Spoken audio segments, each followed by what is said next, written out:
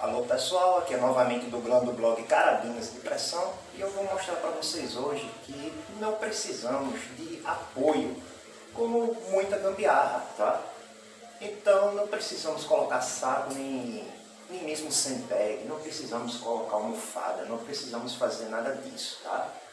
O que é que eu uso? Eu uso simplesmente o meu Buffalo River, tá? Essa estação aqui. E como é que eu faço? Simplesmente, essa arma ela tem um bom centro de apoio aqui, certo? Se eu colocar ela exatamente nessa posição, ela fica com uma estabilização muito boa. Eu vou mostrar para vocês aqui, efetuando três disparos, vocês vão ver, tá? Pelo scope cam, como é o resultado. Ok, pessoal? Valeu!